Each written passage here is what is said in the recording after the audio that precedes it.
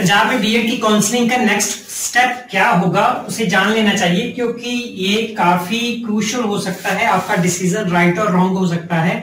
Major कारण क्या हो सकता है कि आप जॉब के लिए एलिजिबल गवर्नमेंट जॉब के लिए एलिजिबल होना चाहते हो। क्या आपने सब्जेक्ट कॉम्बिनेशन को प्रेफर किया है, या कॉलेज को प्रेफर किया है, या फ़ीस को प्रेफर किया है, ये आपकी बात है, लेकिन मेरे हिसाब से आपको सब्जेक्ट कॉम्बिनेशन को प्रेफर करना चाहिए। क्या आपको वो सब्जेक्ट कॉम्बिनेशन मिल गया है जिसके ज़रिए आप एलिजिबल बन रहे हो गवर्नमेंट जॉब के लिए। ये पिछले वीडियो में सब कुछ हो चुका है। आज हम खड़े हैं किस फ़ेज़ पर स्टेज पर? कि seat allotment process of first counselling is completed first counselling में जो सीट अलॉटमेंट आपको होनी थी, हो गई है। आज ही, अभी ये हुई है। Candidates can download their allotment letter from the website of log in using their credential and must report to allotted institute और college as per schedule that is from fifteen September 22 to 17 सितंबर 22 तो आपने पहला काम आपने क्या करना है कि आपने डाउनलोड करना है जो कॉलेज आपको अलॉट हुआ है। तो वो अलॉट क्या क्या हुआ हो सकता है, उसका ये डायग्राम है। अलॉट में दो तरह की प्रोबेबिलिटी हो सकती है। एक तो ये कि किसी को कॉलेज अलॉट नहीं हुआ। कई स्टूडेंट्स ये पूछ रहे थे कि सर हमने वो जो है, एक ही या दो ही ऑप्शन फिल की है। हो सकता है अगर रैंक पीछे है, एक ऑप्शन फिल की है तो प्रोबेबिलिटी है आपको कॉलेज अलॉट ना हुआ हो। यहाँ पर कोई भी घबराने की बात नहीं है। आप, अगर नहीं हुआ अलॉट आप सेकंड काउंसलिंग में डायरेक्ट पार्टिसिपेट कर सकते हो। कैसे पार्टिसिपेट करना है, ये इसी वीडियो में नेक्स्ट जाके बताता हूँ। पहली कैटेगरी क्या बनी कि जिनको अलॉटमेंट नहीं हुई। उन्होंने क्या वेट करनी है कि जब नेक्स्ट काउंसलिंग में जो खाली रह जाएँगी सीट्स सभी कॉलेज ने रिपोर्ट करना है, मैं अभी दिखाता हूँ। तो वो रिपोर्ट करने के बाद आपको फिर चॉइस फिलिंग के लिए कहा जाएगा। आपने जिनको अलॉट नहीं हुआ, आपने वो चॉइस फिलिंग दोबारा करनी है। ये तो दूसरी कैटेगरी क्या है कि कॉलेज अलॉटमेंट हो चुका है। और हो चुका है, जहाँ तो आप सेटिस्फाई हो, जहाँ नॉट सेटिस्फाई हो। कॉलेज अलॉटमेंट से। आप कॉलेज में गए हो रिपोर्ट कर दिया। आपको तीन, चार दिन सेवनटीन तक दिया गया है ना टाइम तो आप रिपोर्ट करते हो। रिपोर्ट करके आपने ए, ए, मतलब वहाँ जो वार्तालाप होते हैं हो सकता है कि पहले से आपने कॉलेज को असेस किया है और फाइनल किया है कि यही मुझे चाहिए। तो जो कैंडिडेट है जिन्होंने फाइनल नहीं किया वो कॉलेज में जाते हैं कई बार वार्तालाप ऐसे हो जाते हैं सिचुएशन ऐसे बन जाती है छोटी सी बात में हम इरिटेट हो जाते हैं। तो ऐसे नहीं होना। लेकिन आपने हाँ स्टाफ को इवेलुएट करना है अच्छा स्टाफ चाहिए क्वालिफाइड स्टाफ चाहिए ये ज़रूरी है। तो ए, रिपोर्ट करते हुए आप क्या क्या प्रोबेबिलिटीज कर सकते हो कि अपनी सब्जेक्ट कॉम्बिनेशन को देख सकते हो। अभी तक तो आप सेटिस्फाई थे लेकिन आपने माइनर सब्जेक्ट जब जाके पूछना है नेक्स्ट आप कॉलेज में पहुँच चुके हो। अब आप क्या कर रहे हो? सबसे पहले आपकी वेरिफिकेशन होनी है डॉक्यूमेंट्स की। वो डॉक्यूमेंट्स कौन से लेके जाने में अभी फिर दिखा देता हूँ आपको। आपने सबसे पहले सब्जेक्ट माइनर देखना है कि क्या सब्जेक्ट के लिए आप सेटिस्फाई हो। मोस्टली प्राइवेट कॉलेज ने आपको छोड़ना नहीं है, क्योंकि उन्होंने नहीं भी है तो क्रिएट कर देना। आपका सब्जेक्ट आपको मिल जाएगा, लेकिन गवर्नमेंट और एडेड कॉलेज में प्रोबेबिलिटी है क्योंकि वो बाय रूल चलते हैं सिंसियर है मॉरल है। प्राइवेट कॉलेज में कुछ भी हो सकता है। That is why private college क्योंकि ये गड़बड़ वाला मामला है तो वो आपका फ़ायदा ऐसे कर सकते हैं। सेकंड uh, है आप वहाँ फ़ीस की बात करते हो कि कौन कौन सी फ़ीस है कितनी है। एग्जामिनेशन फ़ीस शामिल है नहीं शामिल है इसके अलावा और खर्चे कौन से हैं? तो मैंने कोई और खर्चा तो नहीं देना। आ, बुक्स का रिसोर्सेज का whatever you want to आज तो आप पूछ सकते हो। प्राइवेट कॉलेज से अगर हो सकता है आप सेटिस्फाई ना हो डिस्टेंस से सेटिस्फाई ना हो अटेंडिंग से सेटिस्फाई ना हो ये मैं बातें कर रहा हूँ कि आप रिपोर्ट करने गए हो और ये फैक्टर आपने देखे हैं और इससे आप सेटिस्फेक्शन से नॉट सेटिस्फेक्शन में आ गए कि मैं इस कॉलेज से सेटिस्फाई नहीं हूँ मैं एडमिशन यहाँ नहीं लेना चाहता। तो आपने क्या कर रहा है? तो अगर तो आप सेटिस्फाई हो रिपोर्ट कर दिया, ये सारे आंसर आपको सही मिल गए कि आप फ़ी स्ट्रक्चर ठीक है सब्जेक्ट कॉम्बिनेशन माइनस जो आप चाहिए था मिल गया है है ना? आप सेटिस्फाई हो गए हो। तो फिर आप रिपोर्टिंग के बाद आपकी इस कैटेगरी में आप पहुंचोगे, यहाँ आपने डॉक्यूमेंट वेरिफिकेशन करवानी है, आपने ओरिजिनल डॉक्यूमेंट लेके जाने हैं। कौन से डॉक्यूमेंट लेके जाने हैं? वो अभी आपको दिखा देता हूँ। एक बात और याद रखनी है कि किसी कोई भी कॉलेज आपके ओरिजिनल डॉक्यूमेंट रख नहीं सकता। दैट इज़ वाई आप जो है, एक तो जो लेटर या स्लिप आपको अलॉटमेंट की है, वो इशू होनी है, वो आप लेके जाओगे साथ में। उसके अलावा क्या क्या होगा, ये पहले बता चुका हूँ। ठीक है? Rank of candidate as per common entrance test notified by Guru Nanak Dev university slip होगी. Admit card of common entrance test printed copy of online application form detail marks card of tenth class detail marks card and degree of all examination all examination में tenth आ रहा है. Ten plus to आ रहा है. Graduation है. Post graduation है इसके अलावा कोई डिप्लोमा डिग्री सर्टिफिकेट कोर्स किया है आप ले जा सकते हो। वो इसलिए कि गैप शो करना है कि नहीं। मोस्टली गुरु नानक देव यूनिवर्सिटी के कॉलेज में से गैप सर्टिफिकेट पूछा जाता है बाकियों में आ, कम या नहीं। कैरेक्टर सर्टिफिकेट आपने लेके जाना है ओरिजिनल रेजिडेंस डोमिसल सर्टिफिकेट लेके जाना है। रिजर्वेशन जो है अगर आपकी है वो आपके लेके जानी है। रूरल अगर क्लेम किया हुआ है रूरल एरिया का सर्टिफिकेट वो आपने लेके जाना है। ये रहा रूरल एरिया क्लेम एफिडेविट अगर गैप है टेंशन नहीं लेने का, जल्दी बन जाता है। इस कॉलेज आपको टाइम दे देगा। ठीक? आपने बेसिक सेटिस्फेक्शन देखनी है। एनी अदर सर्टिफिकेट अगर इक्वलेंस का है, वो लेके जाना है। इसके अलावा कम से कम आपके पास चार से छह फ़ोटो चार, पाँच, छह फ़ोटोज़ होने चाहिए पासपोर्ट साइज़ फ़ोटो ज़रूर चाहिए। एक कॉलेज से मैंने रखा है, मंगवा के रखा है, वो आप देख सकते हो। उन्होंने कौन कौन से डॉक्यूमेंट मांगे हैं। ये रहे, उन्होंने tenth ten plus two graduation certificate post graduation Aadhaar card of candidate mother and father Aadhaar card मेरे ख्याल में, जहाँ पर, जो स्कॉलरशिप है, वहाँ ज़रूरत होती होगी। लेकिन आपका ईमेल जनरेट होना है और आपका आधार कार्ड की ज़रूरत पड़ेगी। क्योंकि कई तरह की असेसमेंट होती है, ऐश को डाटा जाता है, कई जो गवर्नमेंट की एजेंसीज हैं, आपका डाटा एनरोलमेंट होने के बाद वो मंगवाते हैं। हो सकता है यूनिवर्सिटी में मंगवाती हो दैट इज़ वाई आपको आधार कार्ड लेके जाना है। अपना मदर का और फादर का भी।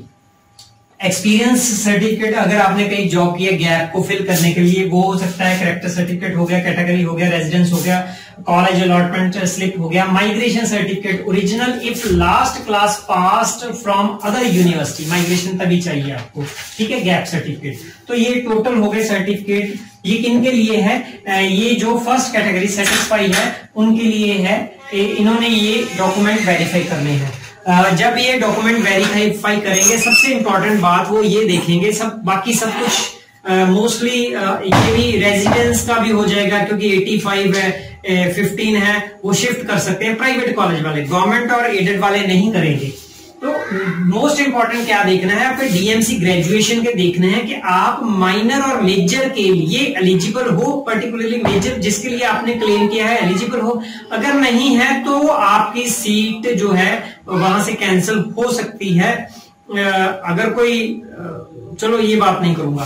तो ये बात हो गई कि आपकी वेरिफिकेशन हो गई है। वहाँ पर आपने एक बात को ध्यान में रखना है कि जो आपके डीएमसी में आपने एज इलेक्टिव इलेक्टिव तीन साल पढ़ा है माइनर उसी को प्रेफर कीजिए, ये मैं बहुत बार बता चुका हूँ। अगर ये ऐसा करते हो तो आप गवर्नमेंट जॉब के लिए बीएड के बाद डायरेक्ट एलिजिबल हो जाते हो।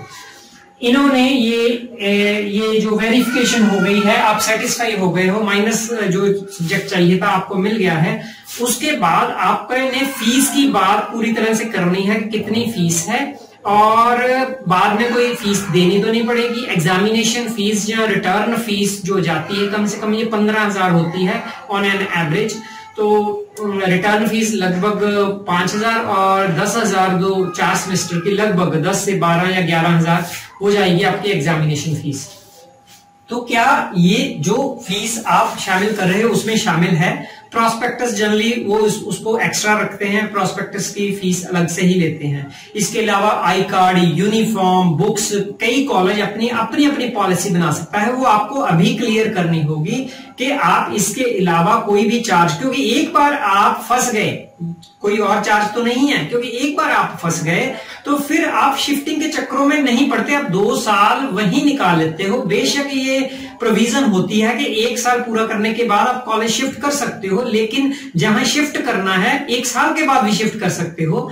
लेकिन अगर आपने विद इन यूनिवर्सिटी आप शिफ्ट कर सकते हो लेकिन अगर दोनों कॉलेज के प्रिंसिपल्स अलाउ करते हैं वहाँ पर थोड़ा सा तंग किया जाता है और बच्चा कहता है कि यार मैं यही रहना तो दैट इज़ वाई यही टाइम है कि आप सब कुछ क्लियर करके अपना पैर रखें। दुखी होने की कोई ज़रूरत नहीं है। आ, मतलब अच्छी तरह से बीएड की जा सकती है।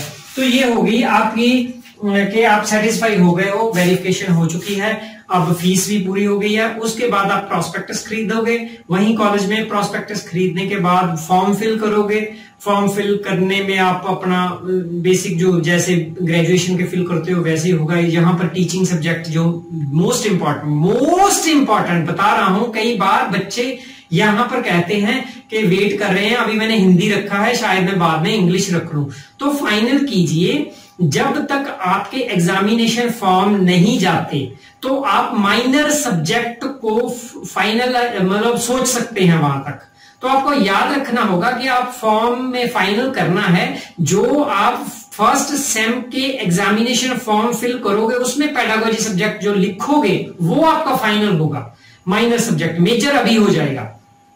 तो इतनी फ्लेक्सिबिलिटी है that is why no need to get tension तो इसके अलावा आप जो है प्रोस्पेक्टस है फॉर्म फिल हो गया, और बाद में आप फ़ीस डिपॉजिट कराते हो। फ़ीस डिपॉजिट के लिए आपको फुल सेम के लिए कोई भी कंपेल नहीं कर सकता। एक मैंने बात बताई थी कि सर्टिफिकेट ओरिजिनल कोई इंस्टीट्यूट नहीं रख सकती। दूसरी बात बता रहा हूँ कि जो इंस्टॉलमेंट में फ़ीस मिनिमम टू इंस्टॉलमेंट में एक फ़ीस को लेने की की जो है रूल है।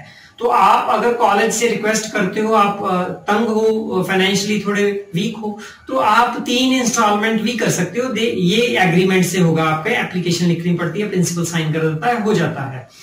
ए, ये कई बार बच्चे इसको स्ट्रेटेजी भी यूज़ करते हैं। चलो पाँच हज़ार में अभी जमा करवा देता हूँ। अगर मेरी गवर्नमेंट सीट आ गई तो मैं उधर चला जाऊँगा क्योंकि वहाँ पर मेरे पचास हज़ार बचने हैं। तो यहाँ पर ये जो है मेरे पाँच हज़ार चले जाएँगे। ऐसे भी यूज़ कर लेते हैं। तो वो वो कोई इलीगल नहीं है। इलीगल नहीं है। हाँ कॉलेज की वो फ़ीस बनती है वो हज़ार या दो हज़ार जो भी रूल है इतना है वो उन्होंने कट करने होते हैं आपके। आ, तो हाँ प्रॉब्लम आपको गवर्नमेंट प्राइवेट में अटेंडिंग नॉन अटेंडिंग की आएगी। इसका शायद अलग से वीडियो बना दू। अटेंडिंग इस बार फोकस किया जाएगा। गवर्नमेंट भी पंजाब में चेंज हो चुकी है वाइस चांसलर भी थोड़े रिजिड हो चुके हैं और एनसीटी ने पार के अकॉर्डिंग भी एक्शन लेने हैं। That is why non attending वाले केयरफुली सोचकर एडमिशन ले। कोई कमिटमेंट जो है कॉलेज करता है, लेकिन रिस्पॉन्सिबिलिटी आपकी ही रहेगी हर हालत में। जो जॉब कर रहे हैं साथ में, वो ये पंगा मत ले। ये साफ़ कह रहा हूँ हाँ रिस्क में है वो, ये पक्की बात बता रहा हूँ। तो ये हो गया, जब आपकी फ़ीस जमा हो गई है, एक कैटेगरी है जो इनको अलॉटमेंट हुई है फ़ीस जमा जिनकी हो गई है, उनकी बीएड में एडमिशन हो गई है। तो वो स्टूडेंट अगर चाहते हैं साथ में ही टीईटी की तैयारी और फ़र्स्ट सेम की तैयारी मैं दोनों की तैयारी करवाऊँगा। आपके सेम की भी जो डिफ़िकल्ट क्वेश्चन है जहाँ ब्रीफ में इजी में घर बैठे आप समझना चाहते हो वो डेली क्लासेस लगेगी या वीडियो डालूँगा ऑनलाइन क्लास भी लगेंगी। तो वो उनका सोच सकते हैं कि वो टीईटी की तैयारी करना चाहते हैं वो आ, साथ में आ सकते हैं। आ, तो जो आ, जिन्हों को कोई फ़ीस का पंगा प्राइवेट कॉलेज है जी, मैं गवर्नमेंट में लेनी है, मुझे डिस्टेंस दूर है, मैं अटेंडिंग नॉन अटेंडिंग का पंगा है तो वो यहाँ रिपोर्ट करने के वक्त फिर नॉट सेटिस्फाई में आ गए हैं। अगर वो नॉट सेटिस्फाई में आ गए हैं, वो रिपोर्ट नहीं कर रहे मतलब उन्होंने नॉट रिपोर्टेड ही लिखवाया है वहाँ पर तो मतलब अगर आप फ़ीस सबमिट नहीं करवाते फ़ीस नहीं सबमिट करवाते तो आप नॉट रिपोर्टेड ही हो। वो सीट आपकी उस कॉलेज में खाली ही रहेगी, बेशक अलॉट हुई थी।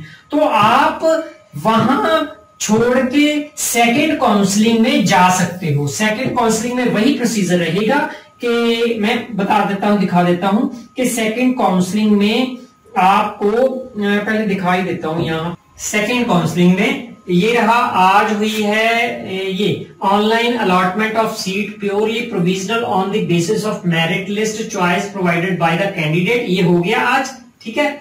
और रिपोर्टिंग एट एलोकेटेड कॉलेज आप सतारह तक आपने रिपोर्ट करनी है, ठीक है? जिन्होंने रिपोर्ट कर दी इट्स ओके जिन्होंने रिपोर्ट नहीं की, वो सीट्स कॉलेज की खाली, मान लीजिए, रह गई।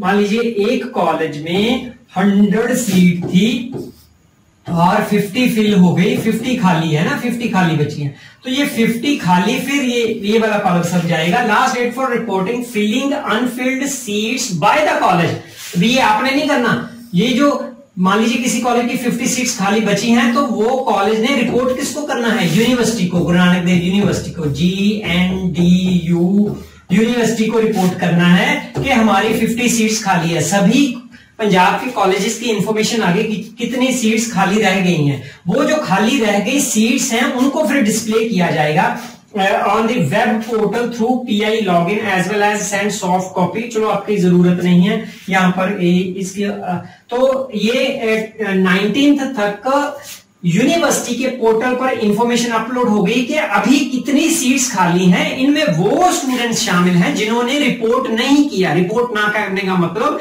फ़ीस नहीं सबमिट कराए तो फिर यूनिवर्सिटी डिस्प्ले कर देगी स्टूडेंट्स आपके लिए। Display vacant seat for second counselling कि इस कॉलेज में इतनी इतनी सीट्स वेकेंट है। अब आप उसको फिर देखोगे, जो बच्चे यहाँ पे हम फिर जो बच्चे सेटिस्फाई नहीं थे और रिपोर्ट नहीं की वो सेकेंड काउंसलिंग के लिए इसको देखेंगे। यहाँ पर डिस्प्ले होगी ट्वेंटी सितंबर को। ज़्यादा दूर नहीं है अभी Delhi. Updation of qualifying degree marks by candidate for those candidate who have not provided marks before. First online, जिनके रिज़ल्ट जहाँ रिज़ल्ट वेटेड थे, जहाँ रिज़ल्ट आउट नहीं हुआ था, वो उनको मौका फिर दिया जा रहा है। आप कह रहे थे ना टेंशन है तो ये यहाँ पर वो अपने जो मार्क्स हैं फिल कर सकते हैं, वो सेकंड काउंसलिंग में शामिल हो गए। तो अब क्या है कि ये वाला शिफ्टिंग ऑफ़ द कॉलेज ये लाइन कुछ नहीं है, एक हज़ार रुपए की बात की गई है। तो ये अगर आप रिपोर्टर थे सेटिस्फाई थे रिपोर्ट फ़ीस सबमिट करा दिया आपने। मैं बता रहा हूँ, कौन सी कैटेगरी ले लेके हम चले थे? नंबर एक नॉट किस, जिसको अलॉट ही नहीं हुआ कॉलेज जिसको अलॉट हो गया, वो कॉलेज में चला गया कॉलेज में जाके वो सेटिस्फाई हो गया। सेटिस्फाई होने के बाद अब डिससेटिस्फाई हो गया है। तो वो शिफ्टिंग के लिए जाएगा। जाके नॉट सेटिस्फाई है तो रिपोर्ट नहीं की तो वो शिफ्टिंग के लिए नहीं है, वो नॉट रिपोर्टेड ही रहेगा। यहाँ एरो गलत लग गया। आपने फ़ीस सबमिट करवा दी है, अब आप सेटिस्फाई नहीं हो शिफ्टिंग करना चाहते हो तो उनके लिए एक हज़ार रुपया लगना है। आप फिर सेकंड काउंसलिंग में ये रहा। कहा गया ये?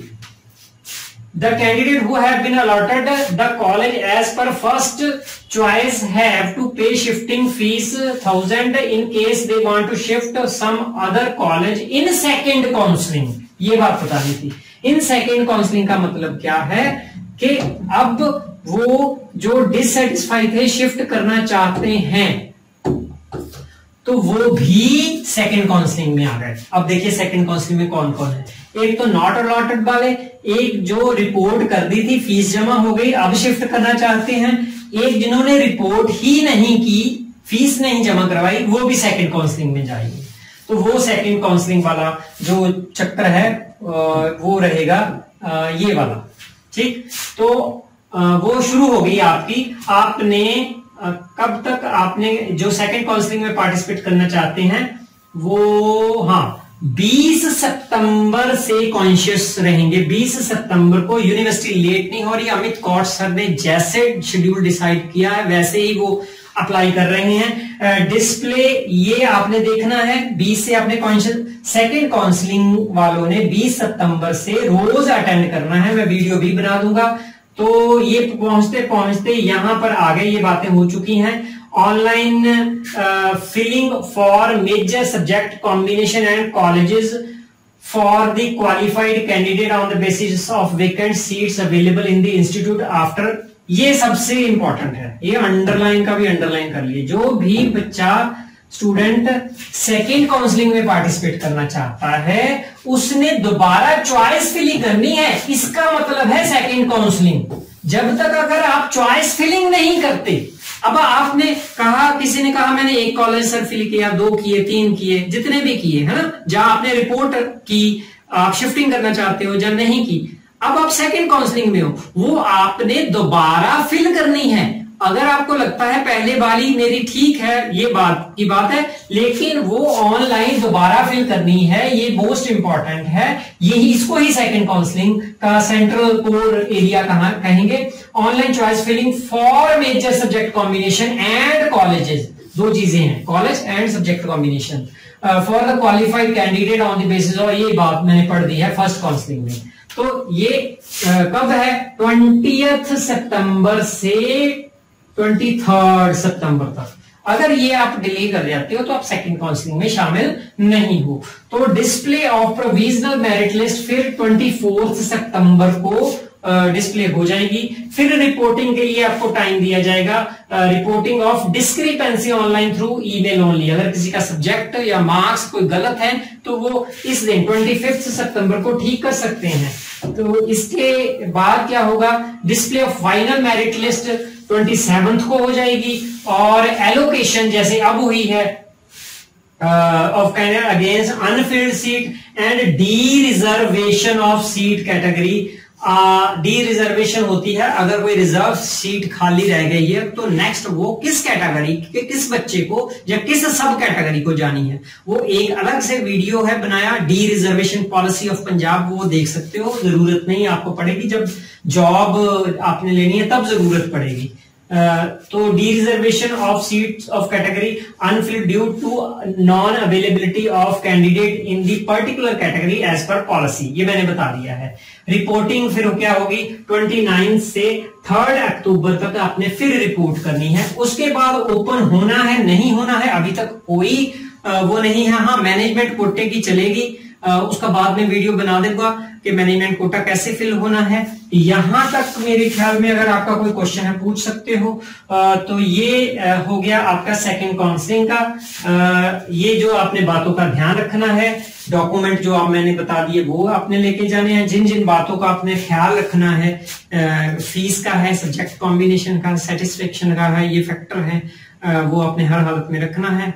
तो इसके अलावा आपका कोई क्वेश्चन हो कि आपने क्या करना है, जब कॉलेज में कुछ गड़बड़ होती है, उसके रिगार्डिंग आप फ़ोन भी आपको दिया गया है, वहाँ पर फ़ोन करके भी पूछ सकते हो। तो क्वेश्चन भी पूछ सकते हो। हाँ मैं उन्हें सीधे पीछे नहीं दे के आया हूँ। मैं कोशिश कर रहा हूँ कि आपको टीईटी की तैयारी करवाऊं और आपके फ़र्स्ट सेम की तैयारी कराऊं। इजी से इजी मेथड का। कारण क्या है कि जो फ़र्स्ट सेम में आप पढ़ोगे जहाँ टीटी की जो तैयारी करोगे, वो फ़र्स्ट सेम का भी पार्ट होगा। मतलब दो निशाने होंगे। एक तीर से है। अगर आप लगाना चाहते हो, आप ज्वाइन कर सकते हो। यही, ऐसे ही ऑनलाइन क्लास लगाऊँगा मैं।